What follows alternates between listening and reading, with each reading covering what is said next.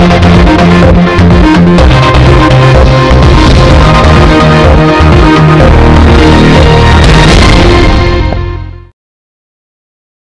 जिला राजौरी में एक सैनिक की पत्नी को जान से मारने की धमकियाँ मिल रही है। मिली जानकारी के अनुसार राजौरी की रहने वाली एक महिला ने बताया कि राजौरी के जवाहर नगर का रहने वाला एक युवक उसे ज़बरदस्ती धर्म परिवर्तन करने के लिए बोल रहा है। साथ ही उसे ऐसा न करने पर जान से मारने की धमकियाँ भी दे रहा है। पीड़ित महिला ने बताया कि वह काफ़ी देर से इसकी शिकायत कर रही है, मगर कोई कार्रवाई नहीं हुई है।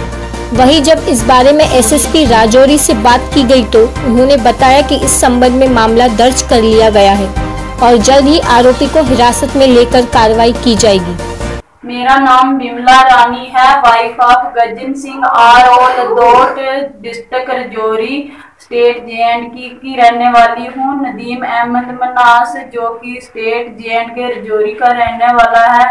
सन गनाम नबी मनास आर जवार नगर मनास मल्लार जोरी का रहने वाला है तीन साल से ये लड़का लगातार मुझे परेशान कर रहा है मेरे पति दिल्ली डिफेंस में नौकरी करते हैं नदीम अहमद मनास ने एक साल पहले हमारे घर पर आकर अटैक किया था हमने उसको पकड़कर बांधा और पुलिस के हवाले किया पुलिस, उसको पकड़कर पुलिस स्टेशन ले गई। पुलिस स्टेशन में हमारा कंप्रोमाइज हुआ। अभी दो महीने पहले मुझे धमकियाँ दे रहा है, बोलता है अपना मज़हब चेंज कर और अपने पति और अपने बच्चों को छोड़कर मेरे पास आ जा। बोलता है, मुस्लिम बन जा।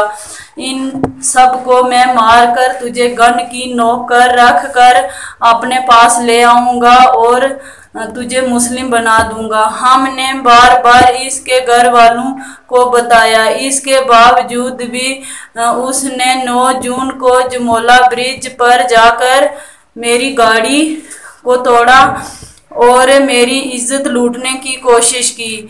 मैं एसएचओ के पास गई। एसएचओ ने मेरी कोई सुनवाई नहीं की। मैं फिर एसएसपी रजौरी के पास गई। उन्होंने भी मेरी कोई सुनवाई नहीं की। उन्होंने एसएचओ रजौरी को लिखा और एसएचओ ने अभी तक मेरी एफआईआर ही नहीं की।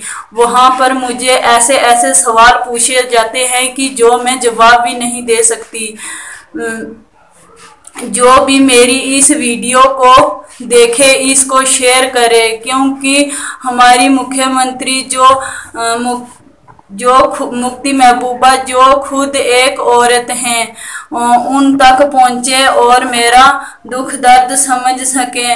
और मोदी जी के पास ये संदेश पहुँचे कि जे एंड के रजौरी में औरतों के ऊपर क्या क्या अत्याचार हो रहे हैं और उन तक ये संदेश पहुँचे कि क्या हिंदुस्तान की औरतों पर यही अच्छे दिन आने वाले हैं। अगर मेरे साथ इंसाफ नहीं हुआ तो मैं अपने इन दोनों बच्चों को ख़त्म कर दूँगी और खुद भी ख़त्म कर दूँगी अपने आप को। जहर देकर इनको और खुद को आत्महत्या कर लूँगी।